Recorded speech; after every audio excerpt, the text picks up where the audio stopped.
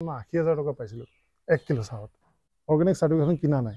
মই কিনা নাই বুলি শব্দটো এইটো কাৰণে ব্যৱহাৰ কৰিছোঁ কাৰণ কিনি ল'ব পাৰি নেকি হাউ মাছ ইউ ৱান ফৰ দিছ টি মোক দুহেজাৰ চৈধ্য চনত আমাৰ চাহটো ছশ সাতশ হাজাৰ টকা খুব বেছি আৰু মনত গুণা কথা কৈ থাকোঁতে তেওঁ কৈছে বোলে অ'কে ফিফটি এই যে কি কওঁ কি নকৰোঁ তেওঁ ক'লে okay okay I cannot give you more than sixty Oh. মই পঞ্চাছ ইউৰোটোৱে মই মানে একচেপ্ট কৰিব পৰা নাই। মই কৈছোঁ অ'কে অ'কে ছিক্সটি ছিক্সটি এই কথাটো কওঁতে মোৰ এই হাতৰ নোম উঠি গৈছে। নাইণ্টি ছেভেন নাইণ্টি ছিক্সত ডেটৰ কেঞ্চাৰ ট্ৰিটমেণ্ট হৈছিলে. ভেলোৰত. তাতে মানে এজন ডাক্তৰে ক'লে you should have some green tea. পিছত দেউতাই বাগানত সোমাই সেই কেঁচা পাতটো খাইছিল। অ গ্ৰীণ টি মানে কি? কেঁচা কেঁচা পাত পাত গ্ৰীণ টি মানে green tea green tea leaves আছো বৰহাটত আৰু আপোনালোকক দেখাবলৈ আহিছোঁ এজন চাহ খেতিয়ক বৰ্তমান ৰূপান্তৰিত হৈছে চাহ উদ্যোগীলৈ। হাতত এটা জুলুঙাত চাহৰ টোপোলা লৈ পোন্ধৰখন দেশ ঘূৰিলে মাৰ্কেটিঙৰ কাৰণে। মই মাৰ্কেটিং বুলি প্ৰথম কিয় কৈছোঁ যিহেতু মই ভিডিঅ'ত আগৰ পৰা কৈ আছোঁ বাৰে বাৰে আপোনালোকে প্ৰডাকশ্যন কৰিলে নহ'ব প্ৰথম মাৰ্কেটখন কৰিব লাগিব মাৰ্কেটখন ধৰিব লাগিব।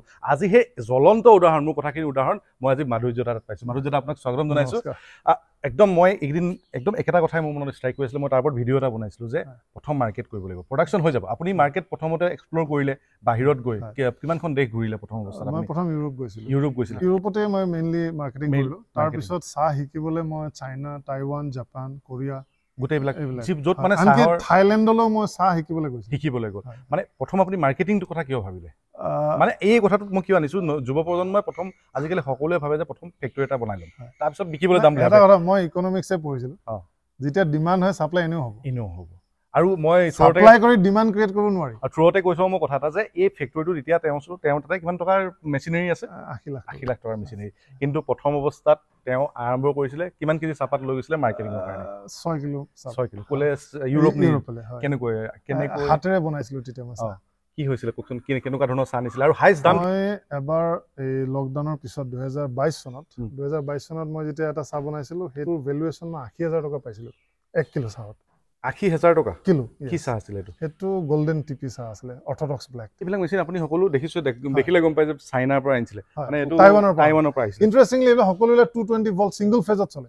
ছিংগল ফেজত এটা মেচিন। ইমান ডাঙৰ মেচিন মানে ডাঙৰ এইটো ডিজেলৰ টেংকি এইটো ফায়াৰটো ডিজেলত হয়। হয়। হা এইখিনি মই খুলি থৈছিলোঁ অলপ চাফা কৰিছিলোঁ। আজি মানে দেওবাৰ দিনটো আমি অলপ চাফা কৰোঁ। হয়। হা এতিয়া ইয়াতে চাহটো বনোৱা যায়। অকণমান প্ৰচেছটো দেখাই দিয়ক ৰাইজৰ বাবে। প্ৰথম ট্ৰাফত আহিলে প্ৰথম ট্ৰাফত চাহটো ছিঙি অনাৰ পিছত ট্ৰাফত অনাৰ পিছত উইডাৰিং কৰা হ'ল ব্লেক টিৰ কাৰণে। তাৰপিছত আমি ৰলিং কৰোঁ। এইবিলাক ৰলিং মেচিন আছে। এই- একেবাৰতে এশ বিছ কিলো চাহ ইয়াত দিব পাৰি। ইয়াত পঁচিছ কিলো দিব পাৰি। কম হ'লে মানে এইখন ইউজ কৰে। তেনেকুৱা আৰু এখন সৰু এখন আছে চাফা কৰি থকা হৈছে। আৰু ইয়াতে ৰোলিং কৰাৰ পিছত আমি অক্সিডেশ্যন কৰিবৰ কাৰণে ফাৰ্মেণ্টিং বা যি বুলি নকওঁ আমি এনেকুৱা ডলা এইবিলাক এনেকৈ ডলাটো দিওঁ। আৰু আমি বেলেগে ফ্ল'ৰ ফাৰ্মেণ্টিঙৰ ব্যৱস্থাই কৰোঁ।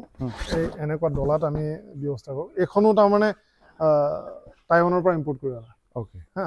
ডলা মানে এখন আমাৰ যিখন ডলা এখন মানে আপুনি সিজাই মেলি ট্ৰিট কৰি বনোৱা হৈছে এখন অ'কে ইয়াতে ধৰক আমি আৰু ফাৰ্মেণ্টিং কৰাৰ পিছত আমি এই ড্ৰায়াৰটোত দিওঁ। ইয়াত আপোনাৰ চাহটো এইফালৰ পৰা দিব লাগে। আৰু এইখন চলাই দিয়াৰ পিছত এইটো ভিতৰেদি গৈ হট এয়াৰ ব্ল'ৰ হয় ইয়াতে ব্ল' হয়। আৰু ইয়াত এইফালেদি ওলায় চাহটো। গোটেই প্ৰচেছটো ধৰি লওক এতিয়া গোটেই প্ৰচেছটো পাত ছিঙি অনাৰ পৰা একদম ফাইন প্ৰডাক্ট ওলোৱালৈকে কিমান সময় লাগে? গ্ৰীণ টিয়ে হওক বা- গ্ৰীণ টি একেদিনাই বনাব পৰা যায়। মানে আজি যিখিনি পাত তুলিলোঁ কাইলৈ সন্ধিয়া ছটা সাতটা বজাৰ ভিতৰত আমাৰ ক্লিয়াৰ হৈ যায়। এটা ষ্টৰী যিহেতু মই গম পালোঁ আপোনাৰ প্ৰথম ষ্টৰীটো যেতিয়া আপুনি ইউৰোপত গৈছিলে চাহৰ দোকানত যেতিয়া নিজৰ চাহখিনি লৈ গৈছিলে অকণমান জনাওকচোন কেনেকৈ ধৰি লওক আপুনি বিকিবলৈ কেনেকৈ প্ৰচেছ কৰিছিলে? আচলতে কথাটো এনেকুৱা মই নিজে ইকনমিক্সৰ ষ্টুডেণ্ট আছিলোঁ। সেইকাৰণে মই জানিছোঁ যে য'ত ডিমাণ্ড হয় তাতে ছাপ্লাই কৰিব লাগিব। মই ছাপ্লাই কৰি এটা ডিমাণ্ড ক্ৰিয়েট কৰিব পৰা কেপাচিটি মোৰ নাই। চ' মই চাহটো বজাৰ শিকিবৰ কাৰণে মই ইউৰোপ গৈছিলোঁ। এইটো দুহেজাৰ চৈধ্য চনৰ কথা। ত' মই ফ্ৰেংকফৰ্টত এখন দোকানত মই চাহটো দিলোঁগৈ। দিয়াৰ পিছত তেওঁ ক'লে মোক শুক্ৰবাৰে আহিবৰ কাৰণে। শুক্ৰবাৰ দিনা গ'লোঁ। তাৰপিছত তেওঁ আজি অলপ ব্যস্ত থাকিলোঁ। আপুনি কাইণ্ডলি বেয়া নাপায় যে সোমবাৰে আহক। সোমবাৰে যে মই গ'লোঁ তাৰপিছত তেওঁ চাহটো বনাই মোক দিলে। তাৰপিছত এনেকৈ দিছে হাউ মাছ ইউ ৱান ফৰ দিছ টি মোক সুধিছে। জাৰ্মান একচনৰ ইংৰাজী সুধিছে। মই একো ক'ব পৰা নাই। এতিয়া মই একো নকৰোঁ মই ভাবি আছোঁ তাৰমানে কিমান দাম কম। কাৰণ দুহেজাৰ চৈধ্য চনত আমাৰ চাহটো ছশ সাতশ হাজাৰ টকা খুব বেছি আৰু তেওঁ ক'লে what about forty forty euro এক কিলো চাহৰ। ইউৰো তেতিয়া ভেলু তেতিয়া আশী টকা আশী টকা। ভেলু আশী টকাত চল্লিছটো ইউৰো বুলি ক'লে তিনি হাজাৰ দুশ টকা। মই নিজৰ কাণকে বিশ্বাস হোৱা নাই মানে কি কথা। মই সেইটো মনত গুণাৰ কথা কৈ থাকোঁতে তেওঁ কৈছে বোলে অ'কে ফিফটি মই প্ৰেক্টিকেলি চল্লিছ ইউৰোটোৱে মই ডাইজেষ্ট হোৱা নাই হজম হোৱা নাই। তেওঁ পঞ্চাছ বুলি ক'লে মই একদম মানে ছেকেণ্ডত বিভিন্ন চিন্তা মনলৈ আহিছে কি কওঁ কি নকৰোঁ তেওঁ ক'লে okay okay I cannot give you more than sixty. মই পঞ্চাছ ইউৰোটোৱে মই মানে একচেপ্ট কৰিব পৰা নাই মই কৈছোঁ অ'কে অ'কে ছিক্সটি ছিক্সটি এই কথাটো কওঁতে মোৰ এই হাতৰ নোম উঠি গৈছে মানে মানে প্ৰডাক্টটো তেওঁ টেষ্ট কৰি নিজে চাই হয়, পিনিহে আপোনাক হয়, দামটো দিছে হয়, হয়, হয়, সেয়াই মানে মানে নিজৰ যেতিয়া কোৱালিটিৰ ওপৰত বিশ্বাস থাকিব নিজৰ। প্ৰডাক্টৰ ওপৰত বিশ্বাস থাকিব আপুনি সঁচাকৈ একদিনত মূল্যটো পায়গৈ। এতিয়া মেচিন চেচিন যদি কোনোবাই বিচাৰে। আপোনাৰ লগত যোগাযোগ কৰিব পাৰিব মই বৰ্তমান এই মেচিনৰ পেন ইণ্ডিয়া ডিষ্ট্ৰিবিউটৰ হয়। আৰু ইতিমধ্যে মই মেঘালয়ত পাঁচটা ফেক্টৰী অৰুণাচলত দুটা ফেক্টৰী আৰু নাগালেণ্ডত মোৰ নিজৰ কলাৰেশ্যন আৰু এটা মই ফেক্টৰী তাত কৰিছোঁ। সেইটো তাত গ্ৰীণ টিয়ে প্ৰচেছ কৰা হয়। যোগাযোগ কৰিবলৈ মই তেখেতৰ নাম্বাৰটো মই দি দিছোঁ যোগাযোগ কৰিবলৈ নাম্বাৰটো দি দিছোঁ। এটা প্ৰশ্ন মানুহৰ মাজত মানুহৰ মগজুত হতকৈ সদায় আহে যে আমাৰ ইয়াত যিমান বাগান আছে আমিতো একেবাৰে বাগান থকা জেগাৰে আমি চৰাইদেউ যেতিয়া বাগানটো আছেই চবতে সকলোতে ধৰি লওক মাৰে। গ্ৰীণ টি মানে অৰ্গেনিক নহয় সকলোতে দৰৱ মাৰেই। দৰৱ মাৰিলেতো ছাইড এফেক্টবিলাক আমাৰ মানুহে আজি গম পোৱা নাই। লং ৰাণত পোন্ধৰ বিছ বছৰ পিছত এইখিনি খুব ডাঙৰকৈ কথাবিলাক ওলাব। তেতিয়া আপোনালোকৰ নামবিলাক আৰু ফুটি ফাটি আহিব সেইটো এটা বেলেগ কথা। এতিয়া এনেকুৱা হয় অৰ্গেনিক বাগান এখনত কিনাৰ বাগানখনে থাকে হয়। দৰৱ মৰা। হয়। কিমান অৰ্গেনিক হয়? এইটো এইটো খুব ভাল এটা কুৱেশ্যন আজি ধৰক মই অৰ্গেনিক চাৰ্টিফিকেশ্যন কিনা নাই. মই কিনা নাই বুলি শব্দটো এইটো কাৰণে ব্যৱহাৰ কৰিছোঁ। কাৰণ প্ৰেক্টিকেলি ফিজ এটা দিব লাগে। আৰু সেই তেনেকুৱা এজেঞ্চিবিলাক মোক যেতিয়া প্ৰথম দুহেজাৰ বাৰ চনত প্ৰথম এপ্ৰ'চ কৰিছিলে। তাৰপিছত দুহেজাৰ চৈধ্য চনত আকৌ এপ্ৰ'চ কৰিছিলে মই দেখিলোঁ মই অলমষ্ট মানে কিনিলোহেঁতেন উম। পোন্ধৰ হাজাৰ টকা বছৰি ফিজ এটা দিব লাগে আৰু তেওঁলোকে চাৰ্টিফিকেটখন ইছ্যু কৰে ইছ্যু কৰে হা। চেক কৰিব নাহে নেকি আহিছিলে পিছত। আপোনাৰ হেৰি হয় পিছত দেখিলোঁ এই চাৰ্টিফিকেটখনৰ মানে ইমান মানে ভেলু মই দেখা নাপালোঁ চ' মই চাৰ্টিফিকেট নোহোৱাকৈ মই অঁ মই যদি অৰ্গেনিক বুলি কওঁ then it has to have a certificate. মই চাৰ্টিফিকেটখন নোহোৱাকৈ। মই চাহটো বিক্ৰী কৰিছোঁ একমাত্ৰ কোৱালিটিৰ ওপৰত ডিপেণ্ড কৰি। আৰু আজি ধৰক মোৰ চাহ পৃথিৱীৰ বহুত জেগাতে মই এক্সপৰ্ট কৰিছোঁ। আৰু মেইন মাৰ্কেট ইউৰোপ তাৰপিছত বৰ্তমান যোৱা বছৰ জাপানিজ মাৰ্কেটো হৈছে। হৈছে। মানে লাহে লাহে আগবাঢ়ি বাঢ়ি গৈ আছে প্ৰচেছবিলাক। এদিনতে হোৱা নাই। কিমান দিনৰ লং ৰান আপুনি মইতো মই মানে মোৰ একচুৱেলি মামা মামাৰ লগৰ হয়। চ' মই সেনেকৈ ৰেফাৰেঞ্চত পালোঁ তেখেতৰ গম পালোঁ। মানে মামাও প্ৰথমতে কৈছিলে যে চাহৰ টোপোলা এটা লৈ লৈ পোন্ধৰখনমান দেশ ঘূৰিলে। সেইকাৰণে আজি আপোনালোকক দেখাবলৈ আহিলোঁ। কিমান দিন হ'ল সেই প্ৰচেছটো একদম আচলতে গ্ৰীণ টি বনোৱা কথাটো মোৰ দেউতাৰ কেঞ্চাৰ হৈছিল কেঞ্চাৰ ছাৰ্ভাইভ কৰিছিলে আৰু নাইণ্টি ছেভেন নাইণ্টি ছিক্সত দেউতাৰ কেঞ্চাৰ ট্ৰিটমেণ্ট হৈছিলে. ভেলোৰত। তাতে মানে এজন ডাক্তৰে ক'লে you should have some green tea. তেতিয়া ninety six nine green tea মানুহে ইয়াত কোনো নাজানে আমিতো জনা নাছিলোঁ। আমি অকলে আমি অকল পাওঁ। চি টি চি চাহ ৰঙা চাহ গাখীৰ দিলে গাখীৰ চাহ। আমি সেইটোৱে জানিছিলোঁ। পিছত দেউতাই বাগানত সোমাই সেই কেঁচা পাতটো খাইছিল অ গ্ৰীণ টি মানে কি কেঁচা কেঁচা পাত পাত গ্ৰীণ টি মানে green tea green tea leaves দেউতাই মানে সেই বুলি ভাবিছে আমিও তেনেকে ভাবিছো অ। পিছত ভেলৰ যেতিয়া ডাক্তৰজনে সুধিলে অ। যে আপুনি ষ্টাডি কৰে না তেওঁলোকে ৰিপৰ্টটো লয়। দেউতাই যেতিয়া ক'লে মই গ্ৰীণ টি খাওঁ গ্ৰীণ টি তেওঁ আচৰিত হৈছে। তাৰপিছত yes sir I am a tea farmer তেওঁ অ, চিম্পল. এনচাৰটো দেউতাই মানে যিটো চিম্প্লিচিটিৰ কথা কৈ ক'লে ডাক্তৰজনে খুব ভাল পালে। পিছত তেখেতে পিছদিনা আনি আমাক এটা পেকেট দিছিলে। তেতিয়াহে গম পাইছো পৃথিৱীত গ্ৰীণ টি বুলি বস্তু এটা আছে। Okay. আৰু গ্ৰীণ টি খাই যে তিতা লাগে। তিতা গ্ৰীণ টি মিঠা হয়। মিঠা হয়। যদি প্ৰচেছ যদি ভুল হয় প্ৰচেছটোত অলপমান মানে হিনদেৰি হ'লে তিতা হৈ যায়। তিতা হৈ যায়। আপোনাৰ-। প্ৰডাক্টৰ নামটো কি কপো বুলি ব্ৰেণ্ড বুলি আছে।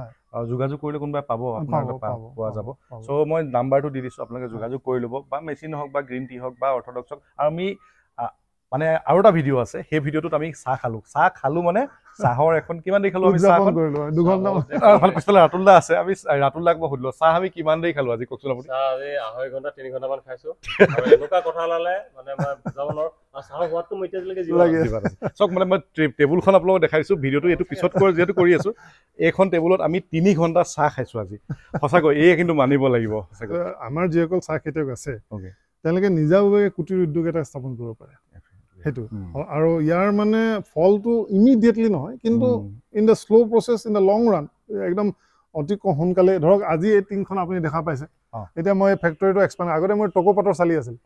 আজি মই এই চাহৰ পইচা দিয়ে টিং পাত লগাইছো এতিয়া সম্পূৰ্ণ হোৱা নাই অলপমান শ্বৰ্ট ফল হৈ আছে সেই চাহৰ টকা দিয়ে এইবিলাক কৰা হৈছে। এইটো শ্ল' প্ৰচেছ এটা অৰ্গেনিক গ্ৰ'থ এটা হৈ আছে আৰু.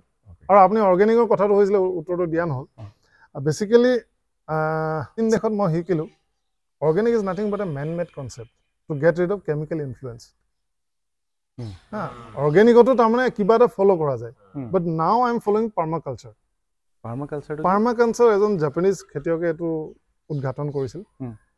মানে প্ৰকৃতিয়ে যিটো দিয়ে হুম। এতিয়া আমাৰ যে বাগানবিলাক চাই আপুনি চাব এটা নেচাৰেল এম্বিয়েঞ্চ এটা কৰা হৈছে হুম। মোৰ ইয়াত হেল'পেলটিছ ঈশ্বৰেগত এতিয়া হোৱা নাই কাৰণ মোৰ ঘৰত চুঙা বাদুলি আছিলে সন্ধিয়া হ'লে চুঙা বাদুলি গৈ পিনে মানে মহৰ হেৰিবিলাক খাই পেলাই খাই পেলাই। আৰু মোৰ কুকুৰা এখিনি আছে কুকুৰাখিনিয়ে লুপাৰ চুপাৰবিলাক খাই পেলাই। এইটো এটা নেচাৰেল এম্বিয়েঞ্চ এটা তৈয়াৰ কৰা হৈছে য'ত তাৰমানে সকলোবিলাক থাকে। ইয়াত কোনো ধৰণৰ মানে বাহিৰৰ পৰা ইনফ্লুৱেঞ্চ কৰা নহয়। একো যোৱা নাই ইলটো বঢ়াবৰ কাৰণে মই এক্সট্ৰা ইয়াত ইনপুট দিবলগীয়া নহয়। আপুনি অৰ্গেনিক হিচাপত বাগান কিমান মান আছে আপোনাৰ? মোৰ কম টোটেল ভাইটিৰ এইখিনি গোটেইখিনি লগাই পোন্ধৰ বিঘামান হয়। সেইখিনি আপুনি নিজৰ প্ৰডাক্টখিনিয়ে কৰে নে হয়, বেলেগৰ পৰা আপুনি বেলেগ কিন্তু এইবছৰ মই ভাবিছোঁ ইনঅৰ্গেনিক চাহো অলপ প্ৰচেছ কৰিম। কাৰণ মোৰ এতিয়া ফেক্টৰী ধৰক সপ্তাহটো গোটেইকেইদিন মই চাহ নবনাওঁ। কাৰণ মোৰ পাতখিনি আহিবৰ কাৰণে তিনি চাৰিদিন গেপ থাকে। সেই মাজৰ আইডিয়েল টাইমটোত মই ইনঅৰ্গেনিক চাহো অলপ প্ৰচেছ কৰিম বুলি ভাবিছোঁ। মানে কেমিকেল ফ্ৰী হ'ব। আৰু মোৰ গাঁৱৰ যিসকল চাহ খেতিয়ক আছে তেওঁলোকৰো চাহ ল'ব পাৰিম। সেইটো কাৰণে এইবাৰ ছেটটো অলপমান মানে ডাঙৰকৈ চীন দেশত গৈ পিনে টি চমিলাৰ কোৰ্চ এটাও মই কৰিছোঁ আৰু মই প্ৰথম অসমীয়া ক্ষুদ্ৰ চাহ খেতিয়ক। যিয়ে টি চমিলাৰ কোৰ্চটো ইণ্টাৰনেশ্যনেল টি একাডেমীত মই কৰিছিলোঁ দুহেজাৰ ষোল্ল চনত এতিয়াও শিকি আছোঁ এইটো বহুত ডাঙৰ এটা ছাবজেক্ট এইটো শিকি শেষ কৰিব নোৱাৰি। আৰু মোৰ গুৰুসকলে যিখিনি মোক শিকাইছিল। তাৰ আলমতে আজি ধৰক মই এবাৰ আশী হাজাৰ টকা ভেলুৱেশ্যনো মই ইউৰোপত পাবলৈ সক্ষম হ'লোঁ। এক কেজি চাহৰ দাম। এক কেজি চাহ। আৰু ধৰক এক্সপৰ্ট কৰিলে ইন এন এভাৰেজ ছয়ৰ পৰা আঠ হাজাৰ টকা পাৰ কিলো মই ৰিয়েলাইজেশ্যন হয়।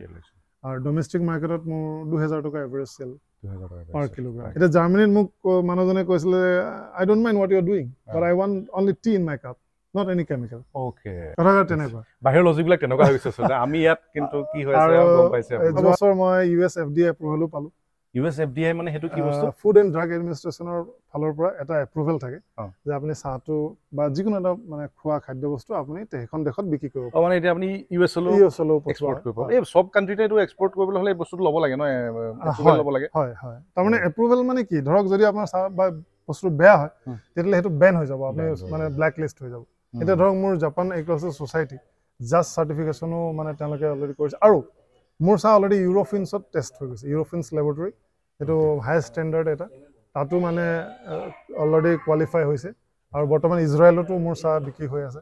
যোৱা বছৰ ইজৰাইল জাপান আৰু ৰাছিয়া এই তিনিখন মাৰ্কেট আৰম্ভ হ'ল। ধন্যবাদ থাকিল সকলোকে আপোনালোকে ইমানখিনিলৈ ভিডিঅ'টো চোৱাৰ বাবে আৰু আপোনালৈ ধন্যবাদ থাকিল। এনেদৰে আপুনি আগুৱাই গৈ থাকক আৰু আপোনালোকে যদি বিচাৰে চাহৰ কাৰণে ল'বলৈ বা যিকোনো বিষয়ে চাহৰ বিষয়ে জানিবলৈ মাধুৰ্যাৰ লগত যোগাযোগ কৰিব নাম্বাৰটো মই দিয়ে থৈছোঁ ভিডিঅ'তে। আৰু আপোনালোকে যদি ইউটিউবত চাই আছে চেনেলটো ডেফিনেটলি ছাবস্ক্ৰাইব কৰি দিব নাপাহৰিব আৰু ফেচবুকত চালে ওপৰত ফ'ল' বাটন আছে ফ'ল' কৰি দিব আৰু ভিডিঅ'টো এবাৰ শ্বেয়াৰ কৰিব। ফেচবুকে হওক হোৱাটছএপে হওক আপোনালোকে শ্বেয়াৰ এটা কৰিব। থেংক ইউ ধন্যবাদ।